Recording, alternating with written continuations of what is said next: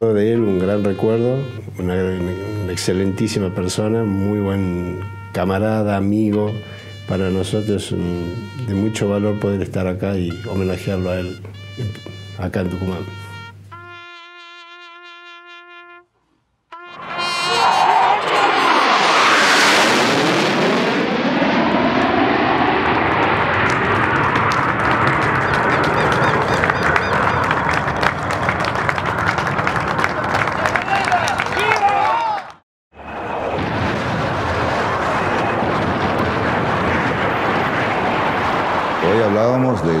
12 de mayo, que fue el- el, eh, prácticamente el primer día que el escuadrón nuestro trabajó y fue muy costoso porque fue el primer ataque a mar abierto a dos fragatas y ese día salimos ocho aviones, volvimos cuatro. Fue un impacto muy, muy fuerte. Ese día perdimos cuatro hombres, que fue realmente un golpe tremendo emotivamente para, para nuestro escuadrón.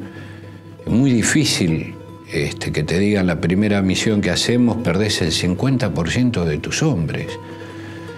Con lo cual lo que no habíamos salido todavía y que teníamos que salir realmente era de una carga emotiva muy grande. Lo que te marcó la muerte fue la realidad de la guerra.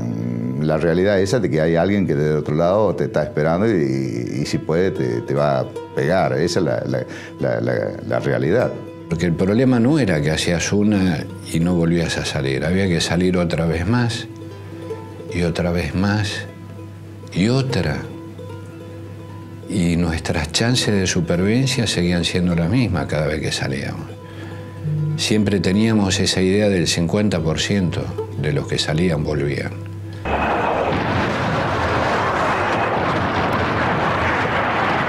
Personalmente conservo una carta de, Pierre Klosterman, el, el as este de la Segunda Guerra francés, que inclusive vino a la Argentina. Él escribió una carta a los pilotos argentinos, que yo la tengo colgada en mi casa como, un- como una condecoración enorme. Y después de, de Malvinas, eh, la guerra de Malvinas se estudió en casi todas las academias aéreas del mundo.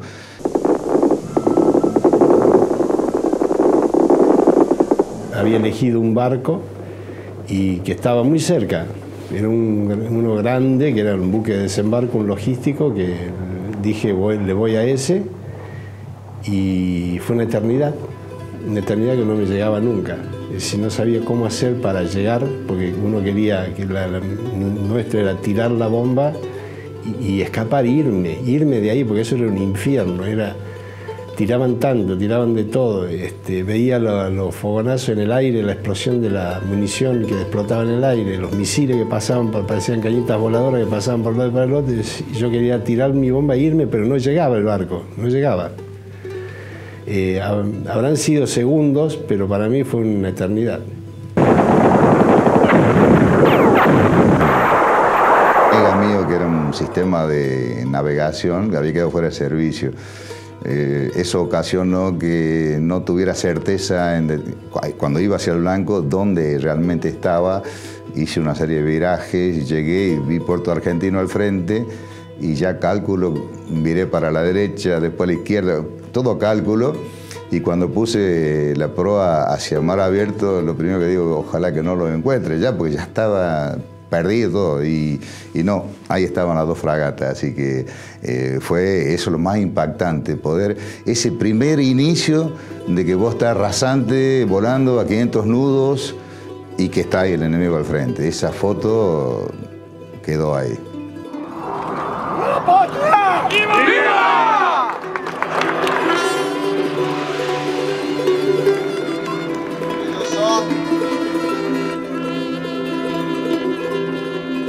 Ingleses lo llamaron al 8 de junio el día más negro de la flota, para que te dé una idea del impacto que eh, produjo la Fuerza Aérea y nuestro grupo sobre el enemigo. Pero realmente para mí fue uno de los días más tristes y amargos de mi vida, ¿no? Y que te quedas pensando el resto de tu vida, ¿por qué ellos, mis tres amigos, mis tres compañeros, y no yo? Y el 13 se nos terminó la guerra, con lo cual no pude salir a volar. Y me quedó ese sabor amargo de no poder volver a, Malvinas para, en alguna misión para poder vengarme de mis compañeros. Yo me lo hubiera encontrado a David Morgan, que era el líder de esa sección de Sea Harrier, un mes, después de terminado el conflicto, un año, probablemente mi actitud hubiera sido este, tratar de golpearlo y tomar revancha. Pasado 11 años después de terminado el conflicto, por un amigo eh, intermedio de los dos, un argentino que vivía en Londres, entramos en contacto. Fue muy fuerte ese primer encuentro, eh, fue muy breve, fue una cena, eh, muy cargado de emociones. El típico inglés vino a. estiró su mano cuando me arrimé a él para saludarlo y, y yo lo abracé muy fuerte. Y ahí uno entiende el dolor que él lleva encima, primero porque nosotros también eh, le dimos baja a muchos de sus compañeros, su gente. Y, eh, y el pesar que él le queda también de saber que él eh, ese día con su compañero derribaron tres pilotos de combate.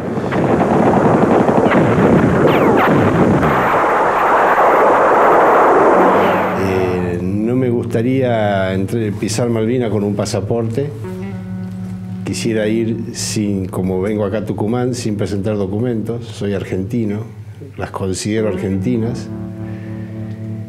Y por otro lado también hay un tema de, mucho dolor que está ahí y que a veces uno lo trata de esquivar. Uno, no, no sabe lo que es eh, una guerra hasta el momento que le toca salir y te encontrás con esa realidad. En un momento uno no está pensando en la muerte, uno está mirando el blanco y sé que le tengo que tirar y que le tengo que pegar y eso es lo único que importa. El dolor lo llevas el resto de tu vida, la mochila no te la saca nadie, las espinas que tenés clavado en tu corazón no se te van nunca y, y la herida no se sana nunca. Creemos firmemente que los héroes son los que han quedado en Malvinas, han dado su vida.